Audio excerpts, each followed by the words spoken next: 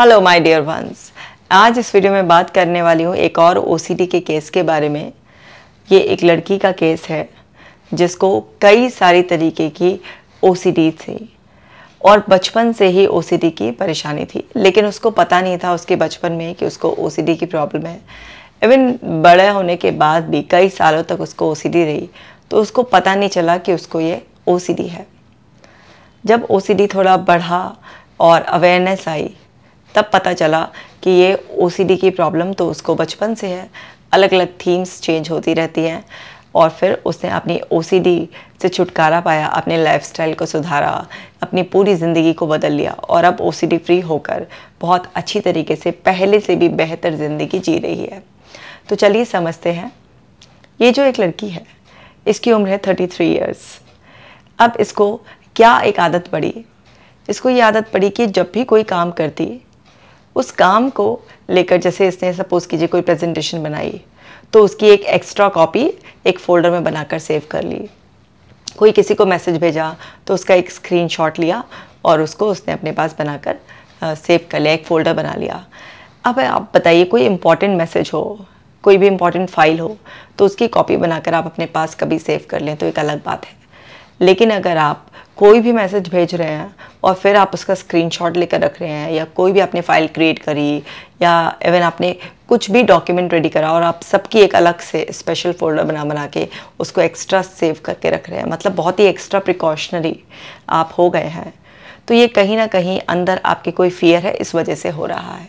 क्योंकि इंपॉर्टेंट चीज़ों के लिए सब एक बैकअप रखना पसंद करते हैं, लेकिन हर चीज़ का बैकअप रखना और अगर आप वो बैकअप रखना भूल गए या फिर किसी ने बोला कि क्या ज़रूरत है तो इस बात से बहुत इरीटेट हो जाना।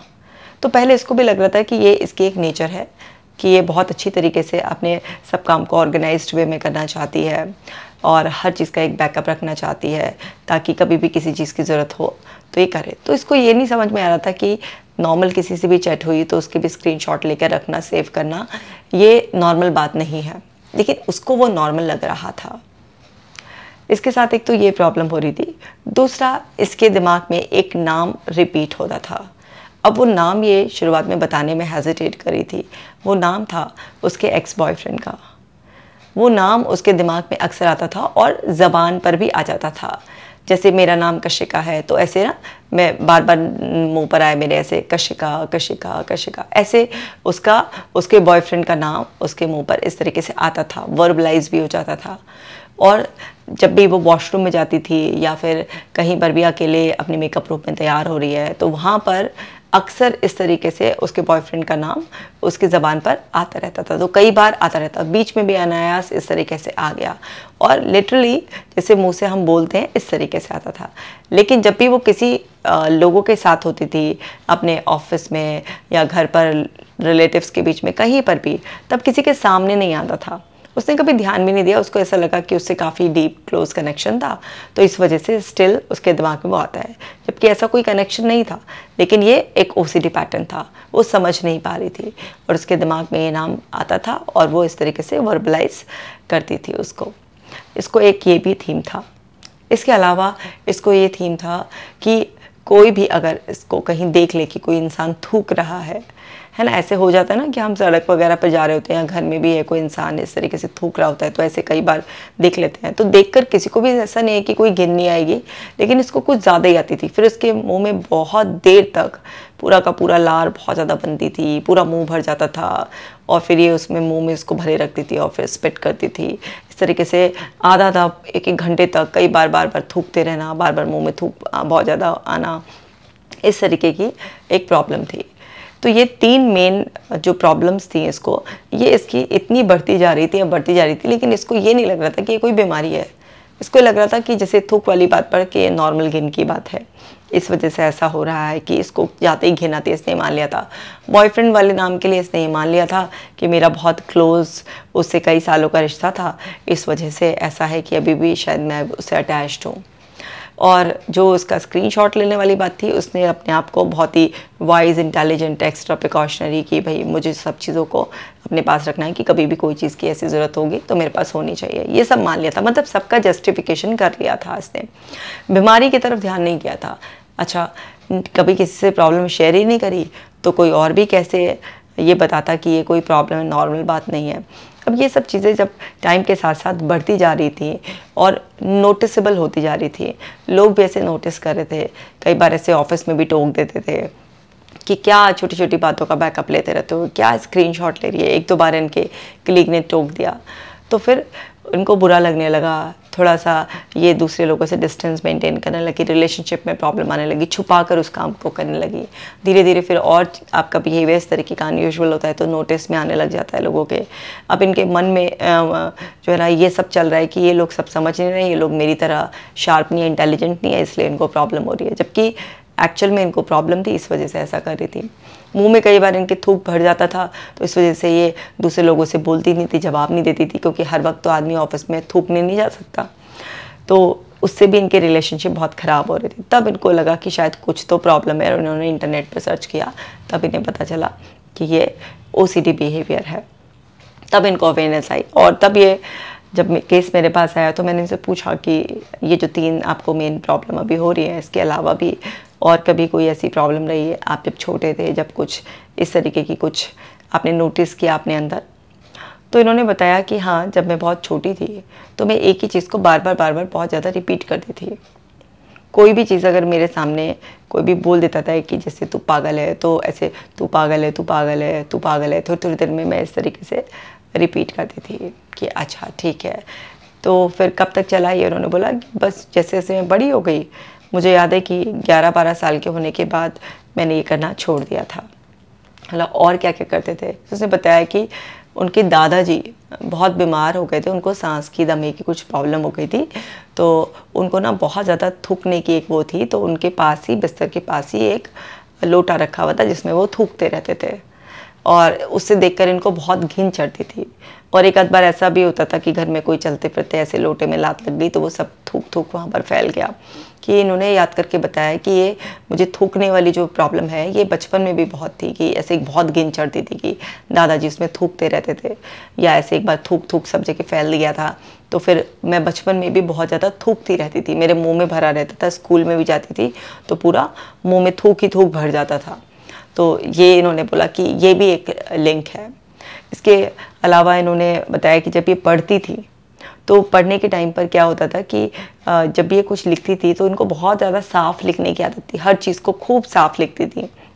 तो साफ़ लिखने में क्या होता है कि थोड़ा सा टाइम ज़्यादा लगता है। तो कई बार काम इनकम्प्लीट रह जाता था तो बहुत डांट वाट पड़ती थी।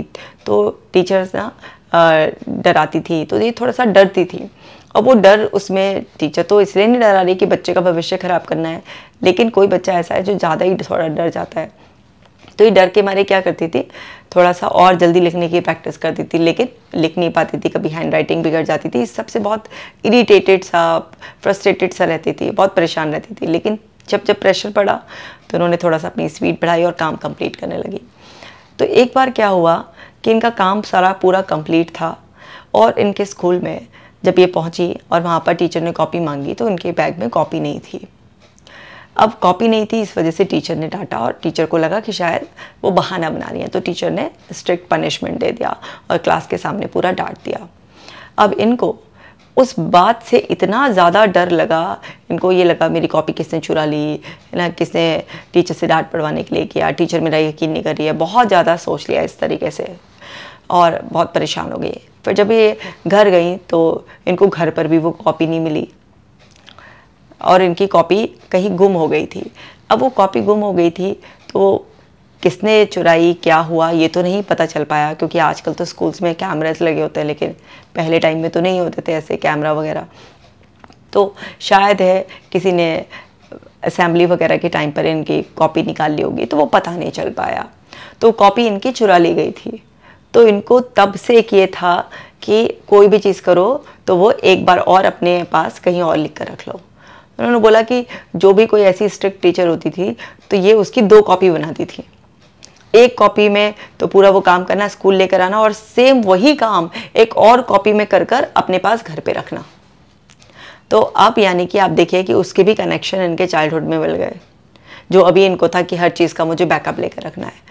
तो ये कॉपी वाला जो हादसा हुआ कि टीचर ने बहुत ज़्यादा डाटा स्ट्रिक्ट पनिशमेंट दिया, वो इतना इनके दिमाग में शौक की तरह सेट हो गया कि ये हर सब्जेक्ट की जो भी टीचर्स बहुत स्ट्रिक्ट होती थी, उन्होंने बोला तीन चार सब्जेक्ट ऐसे थे जिसकी टीचर बहुत स्ट्रिक्ट थी।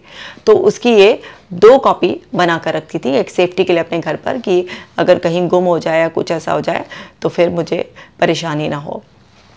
तो यहाँ पर भी इस चीज़ के पैटर्न इनके दिमाग में मिल गए। फिर बॉयफ्रेंड का जब इन्होंने बताया कि ये कॉलेज में थी तो एक लड़का इनकी लाइफ में था तो उसने काफ़ी इनको स्टार्टिंग में पैम्पर करा होगा, काफ़ी अच्छी तरीके से रखता होगा, लेकिन बाद में इन लोगों का ब्रेकअप हो गया।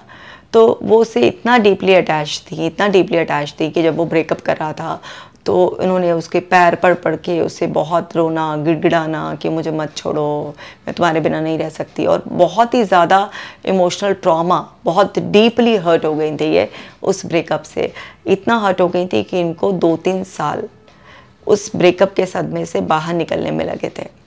तो वहाँ पर भी जब बहुत बहुत ज़्यादा डीप कनेक्शन होता है आपका किसी पर्सन से और फिर उसके बाद भी उन्होंने काफ़ी टाइम तक वो सब ना उसकी लाइफ में क्या चल रहा है, ये जानने के लिए तरह तरह से, कभी कॉमन फ्रेंड्स के ज़रिए, कभी कुछ और ज़रिए इस तरीके से ताका झाकी चालू रखी थी। तो जब आपके सबकॉन्शियस को किसी भी एक चीज़ की इतनी आदत हो जाती है, किसी भी पर्सन की आदत हो जाती है, या आप एक ही एक ही एरिया पर ज़्यादा से ज़्यादा फोकस करते हो तो वहाँ पर क्या होता है, उसके पैटर्न बहुत स्ट्रांग हो जाते हैं। तो मैं आपको ये बताना चाह रही हूँ कि जो उनको परेशानी थी, जो इनको पहले परेशानी नहीं लगती थी, उन सबके कनेक्शंस भी इनके पहले सालों में थे।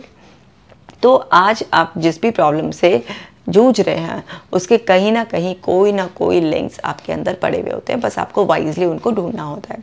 अब लिंक क्यों ढूँढने होते हैं? डायरेक्ट हम प्रॉब्लम क्यों नहीं सॉल्व कर सकते? इसलिए ढूँढने होते हैं, उससे आपकी अंडरस्टैंडिंग बहुत अच्छी हो जाती है और आपको समझ में आ जाता है माइंड की फंक्शनिंग कि माइंड ऐसे ही फ़ंक्शन करता है, उसके पास जो भी एक्सपीरियंसेस कुछ ही रेफरेंसेस होते हैं और उसके बेसिस पर जो उसने इंटरप्रिटेशंस निकाली होती है, वो सब माइंड के लेवल पर सेव होती हैं। और क्योंकि माइंड अपने ओल्ड पैटर्न्स को यूज़ करने में बहुत ही अच्छा फील करता है, क्योंकि उससे उसकी एनर्जी कम लगती है। तो वहाँ पर इस वजह से जब आपको ये सब अंडरस्टैंडिंग डेवलप होती है कि ये तो नॉर्मल फंक्शनिंग है माइंड की, और इस वजह से ये सब परेशानी हो रही है कि मैं आज ऐसा कर रही हूँ, अगर हर चीज़ का मुझे बैकअप लेना है कि यार जुड़ती है तो वो उसका एक कनेक्शन मेरे पास से है, क्योंकि पास में मेरे साथ ऐसा हुआ था कि जब मैं छोटी थी तो मेरी कॉपी खो गई थी, अब वो कॉपी खोने की वजह से मैं एक और कॉपी मेनटेन करती थी। तो वो इनसिक्योरिटी वो फियर अभी भी मेरे अंदर है कहीं और उसकी वजह से ऐसा होता है। या दादाजी की जो तबीयत वाला था कि वो थूकते रहते थे, वो सब मुझे उस टाइम पर इतनी घिन चढ़ी उसकी कि आज भी मेरे अंदर वो ट्रिगर सेट हुआ हुआ है कि आज भी अगर मैं किसी को ऐसा देख लूँ तो इस तरीके से ये होता है। वो जो बॉयफ्रेंड था मेरा, उससे मैं इतना डीपली कनेक्टेड थी, इतना रोई, गिड़गिड़ाई, इतना प्यार अटैचमेंट था मेरा तो उसकी वजह से उसका नाम मेरे दिमाग में एक ट्रिगर की तरह सेट हो गया जो रिपीट होता रहता है। तो इस सबसे ना आपको अंडरस्टैंड करने में मदद मिलती है कि जस्ट एक ट्रिगरिंग सिचुएशंस हैं, जो ऐसे आपके दिमाग में इससे रिलेटेड लिंक्स पड़े हुए हैं, और वहाँ से ये सब चीज़ें जनरेट हो रही है, और आप अभी भी उस लूप में हैं। तो इससे आपको अंडरस्टैंडिंग के बाद उन चीज़ों से कनेक्शंस ब्रेक करना आसान हो जाता है। तो जब इनको समझाया गया कि इनके साथ ये जो सब हो रहा है तो वो सब चीज़ें उसके लिंक्स हैं। अब क्या होता है कि कुछ लिंक्स हमारे अंदर पड़े हुए होते हैं और कुछ हमारे अभी जो हैबिट्स हमारे अंदर पड़ गई होती है, उससे कुछ नए लिंक्स और पैदा हो जाते हैं। तो अभी हमें ये समझना है कि जो चीज़ें पहले से अटैच्ड हैं, उनसे भी डिटैच होना है और जो अभी नए लिंक बनने को तैयार हैं, उनसे भी हमको अपने आप को बचा कर रखना है। क्योंकि अब इनके साथ और नई चीज़ें क्या हो रही थी, इन्होंने मुझे बताया कि इनको ना अब धीरे धीरे चेक करने की आदत भी बहुत ज़्यादा अंदर अंदर अर्ज़ उठने लगी थी कि मैं चेक करूँ। जैसे अपना बैग चेक करना अपने रूम का दरवाज़ा इन्होंने लॉक किया, नहीं लॉक किया, अपनी अलमीरा को चेक करना। तो ये दो तीन चीज़ों को चेक करने का इन्होंने नोटिस किया कि एकदम सडनली कुछ इनके मन में ज़्यादा ही इच्छा आने लगी है कि ये चीज़ चेक करना। अब इस पर ध्यान नहीं देंगे तो फिर वो जनरलाइज वे में और बढ़ने लग जाएँगी। एक से दूसरी चीज़, दूसरे से तीसरी चीज़ बढ़ने लग जाएगी। तो और लिंक्स बनने से भी रोकना है और जो पुराने लिंक्स हैं, उनसे भी हमें अपना कनेक्शन ब्रेक करना है। तो यहाँ पर जब इनको इस तरीके से समझाया गया तो इनको सब कुछ समझ में आ गया, वो कनेक्शन इनके दिमाग में क्लियर हो गए। उस अंडरस्टैंडिंग उस अवेयरनेस से क्या फ़ायदा होता है कि जब भी अब हमारे अंदर ऐसी अर्ज़ आ रही होती है, हमारे को इस तरीके की कोई भी फीलिंग उठ रही होती है, कोई थॉट आ रहा होता है, कुछ भी है तो हम अलर्ट हो जाते हैं अवेयर हो जाते हैं और अवेयरनेस से ही किसी भी ऑब्सेशन या कंपल्शन को रोका जा सकता है। अब देखिए क्या होता है, हमारी सेंसेस है, पाँच सेंसेस है ना। अब पाँच सेंसेस के ऊपर है मन। मन के ऊपर है बुद्धि और बुद्धि के ऊपर है आत्मा, आपका चैतन्य, आपकी जागरूकता। तो आप अवेयरनेस का इस्तेमाल कर कर मन और बुद्धि के स्तर के जितने भी झोल मेल हैं, जो भी मतलब वो मिलकर पूरा का पूरा क्या करते रहते हैं, आपकी ज़िंदगी में उलझाते रहते हैं आपको। तो अब उस सब चीज़ों से आपको बचना होता है, सब उनके झमेलों से तो आपको क्या करना होगा? अवेयरनेस का इस्तेमाल करना होगा। तो जैसे ही कोई भी ट्रिगर मिलता है हमें, जैसे उनको ट्रिगर मिलता था कि कोई इन्होंने नई फ़ाइल क्रिएट करी या किसी को मैसेज करा तो उससे एकदम से मन में वो जो डर था, उससे कनेक्टिविटी फील होती थी, अंदर से इनसिक्योरिटी कुछ थॉट नहीं आता था उस चीज़ का। एक अनकॉन्शियस बिहेवियर था। वो अनकॉन्शियस बिहेवियर क्यों था? क्योंकि अंदर एक इनसिक्योरिटी का लिंक पड़ा हुआ था कि कल को अगर ये मिस हो गया तो मैं कहाँ से लाऊँगी? कुछ प्रॉब्लम हो जाएगी। तो उससे मन एकदम से, उस इनसिक्योरिटी की वजह से, ऐसे इम्पल्सिव बिहेवियर के लिए उनको तैयार कर देता था। तो वहाँ पर जो बुद्धि थी, वो भी क्या है? पास्ट एक्सपीरियंसेस के बेस पर जजमेंट निकालते रहते हैं हम कई बार कि हाँ ऐसा हुआ था तो ऐसे तो सेफ्टी रखनी चाहिए, सही गलत। बुद्धि सही गलत बताती है ना तो बुद्धि भी कई बार पास्ट एक्सपीरियंसेस से इन्फ्लुएंस हो जाती है। लेकिन उसके भी ऊपर एक अवेयरनेस है। अवेयरनेस का लेवल उस लेवल से जब हम ऑपरेट करना स्टार्ट कर देते हैं। कि पास्ट में जो हुआ था, ज़रूरी थोड़ा ना है कि वो हमेशा ही ऐसा होता रहेगा। जनरलाइज क्यों कर रहे हैं? जब हम छोटे थे, नहीं पता था, हो गया ऐसा। लेकिन अब हम समझदार हो गए हैं, अब थोड़ा ना है कि ऐसा होता रहेगा। तो मन के स्तर पर, क्योंकि मन का जो एक काफ़ी डेवलप्ड वो है, उसी को हम बुद्धि कहते हैं, चैतन्य हमारा। तो अभी वहाँ पर उसमें भी गलती हो सकती है। कई बार कहते हैं ना, हमारी बुद्धि भी भ्रष्ट हो जाती है। तो बुद्धि भ्रष्ट हो जाती है तो उससे भी ऊपर के लेवल पर हमें जाना पड़ता है अवेयरनेस के लेवल पर। तो जब हम अपने अवेयरनेस के लेवल से ऑपरेट करना स्टार्ट करते हैं तो हम देखते हैं कि हमारे को अपने ऑब्सेशंस एंड कंपल्शंस को कंट्रोल करना आसान हो जाता है। तो उनको मैंने सिंपल सी बात बताई कि अब जब भी, आपके माइंड में अगर वो नाम रिपीट हो रहा है तो आप अवेयर हो जाइए उसके लिए। जैसे आप अवेयर होंगे तो आपके होठ अपने आप ही रुक जाएँगे। आपके अंदर वो नाम अपने आप ही रुक जाएगा। आपको कुछ नहीं करना। सफ़ाई नहीं देनी है, इसलिए आ रहा है, उसलिए आ रहा है, या ऐसे रोकने की कोशिश। जस्ट आप अवेयर हो जाइए। जैसे आप अवेयर होंगे, आपके मन के नाटक बंद हो जाएँगे। इसी तरीके से जब भी आप कोई भी मैसेज कर रही हैं, किसी को या कोई फ़ाइल क्रिएट कर रही हैं, और बैकअप लेने की एक जा रही है तो अवेयर हो जाइए कि ये मेरी चाइल्डहुड इनसिक्योरिटी है। इस वजह से ऐसा हो रहा है। और आप उसको अंडरस्टैंड करते हुए आप उसका बैकअप लेना बंद कर दीजिए। कंपल्शन को स्टॉप कर दीजिए, क्योंकि ओसीडी में क्या है कंपल्शन ही सबसे बड़ी प्रॉब्लम है। जितना आप कंपल्शन करेंगे, उतना ओसीडी का री होता रहेगा। तो इससे उनको बताया गया कि आपको शुरू में हो सकता है अर्ज़ आए और आपको हो कि इसका और ले ले, आगे से नहीं लेंगे। लेकिन आपको रोकना है तो रोकना है, क्योंकि आज नहीं रोका तो कल भी नहीं रुकेगा। फिर वो और कल पर टालता जाएगा, मन का यही नाटक है। आज से नहीं, कल से करेंगे। फिर जब कल जो आएगा वो भी आज के रूप में आएगा तो फिर वो आपको बहला देगा, कल से करेंगे। तो कल वल पे नहीं जाना है, आज से ही रोकना है। आज से मतलब अभी से रोकना है। तो ये आपको करना पड़ेगा। शुरू में आठ दस दिन आपको बहुत तकलीफ़ होगी, लेकिन आठ दस दिन के बाद धीरे धीरे नॉर्मल हो जाएँगे। तो बात मान ली उन्होंने और ये कर लिया उन्होंने। इसी तरीके से अगर कोई थूक रहा है या कुछ भी है तो आप समझिए कि हम सभी इंसान थूकते भी हैं। अब किसी को कोई, जैसे आपके दादाजी को ऐसे दमे की बीमारी हो गई थी, सांस की प्रॉब्लम थी उन्हें। वो बार बार उठ नहीं सकते थे, बीमार थे। तो इसलिए उनके पास एक लोटा इस तरीके से रखा गया। पहले भी लोग राख की बाल्टी, लोटे इस तरीके से ऐसे रखते थे, आज भी अगर किसी को ज़रूरत होती तो रखते हैं। कि आप देखिए हॉस्पिटल में कोई एडमिट होता है, नहीं उठ सकता। तो उसको यूरिन पॉटी सब, उसको थूकना हो कुछ हो, सब वहीं पर उसके सामने एक पॉट रखा जाता है और उसमें कराया जाता है।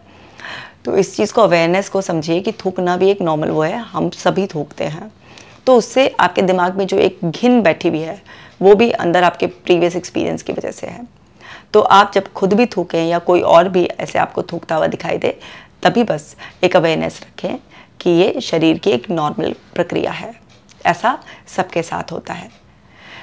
कोई भी अगर बीमार होगा तो फिर वो लचारीवश इस तरीके से वहीं पर ही थूकेगा और कोई भी जो उसके केयर टेकर होंगे, वो उसको क्लीन कर देंगे। तो इस अवेयरनेस के उससे जब भी आपके सामने कोई थूके, आप खुद थूके तो उस टाइम पर आप बस नॉर्मल काम रहने की कोशिश कीजिएगा। और उस टाइम पर जो आपकी बॉडी अभी रेस्पॉन्स दे रही है इतना कि आपके अंदर मुँह में सब इकट्ठा हो जाता है, वो धीरे धीरे कम होगा, क्योंकि ये क्या है बॉडी का एक ऑटो रिस्पॉन्स है। जो एकदम से बाकी आपका जो बैकअप लेना है, वो जल्दी रुक जाएगा। जिस तरीके से आपका आ, कोई भी और बिहेवियर है चाहे वो आपका बैकअप लेने वाला हो या फिर वो जो लड़के का नाम आपके दिमाग में रिपीट होता है वो हो ये दोनों जल्दी रुक जाएँगे। लेकिन जो थूक आप देखती हैं किसी को और उससे आपका मुँह पूरा भर जाता है और बार बार आप आधा ही घंटे तक थूकती रहती हैं इसको जाने में समय लगेगा। तो, तो पेशेंस रखना है क्योंकि बॉडी अब ऐसे रिस्पॉन्सिव हो गई है।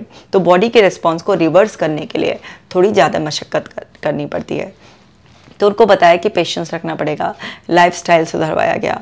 उनके खाने की हैबिट्स जो कि बहुत ख़राब थे, आप समझ ही सकते हैं कॉर्पोरेट में काम करने वाले लोगों की लाइफस्टाइल क्या हो जाता है, उनका माइंडसेट क्या हो जाता है। फ्रस्ट्रेटेड उनको स्मोकिंग फीमेल होने के बाद भी वो काफ़ी स्मोक करती थी। दिन में चार पाँच सिगरेट पी लेती थी। तो उनको सिगरेट की जो आदत थी, उसको छोड़ने के लिए बोला गया। जंक फ़ूड बहुत ज़्यादा खाती थी, ऑफ़िस में कॉफ़ी पीते रहना, इस तरीके से रात को भी काम करना, ये जो बहुत सारे लाइफस्टाइल इश्यूज़ थे, वो सब चीज़ें सुधारी गई उनकी, उनको बताया गया कि आपके फ़ूड से आपके माइंड का बहुत डीप कनेक्शन है खाने पीने की आदत सुधारनी है एक्सरसाइजेस करनी है तो तमाम ओवर बहुत सारे चेंजेस करवा कर उनको, उनके ओ से छुटकारा दिलाया गया और अब वो पूरी तरीके से ठीक हैं। जैसे वो ठीक हो सकती हैं, ऐसे आप भी ठीक हो सकते हैं। तो ओसीडी से घबराने की बात नहीं होती है। ओसीडी आपको अगर हो गया है या आपके किसी अपने को हो गया है तो आप रिलैक्स रहिए। उनको हिम्मत दीजिए और ख़ुद को भी हिम्मत दीजिए कि ओसीडी बस सही तरीके से इलाज करने से, बिना किसी दवाई के आसानी से ठीक हो जाएगा। ओसीडी वाले बहुत परेशान रहते हैं। इस वीडियो को ज़रूर शेयर कीजिए ताकि हर उसी सफ़र तक ये वीडियो पहुँचे और उनको हिम्मत मिले कि जिस तरीके से ये ठीक हो सकती हैं, उस तरीके से वो भी ठीक हो सकते हैं। जिसकी जैसी परेशानी है, हल उसका ज़रूर होगा। कोई भी ताला बिना चाबी के होता ही नहीं है तो किसी भी तरीके की ओसीडी क्यों ना हो। ठीक तो हंड्रेड परसेंट हो ही जाएगी। अपना खास ख्याल रखिएगा। मैं मिलूँगी आपसे नेक्स्ट वीडियो में।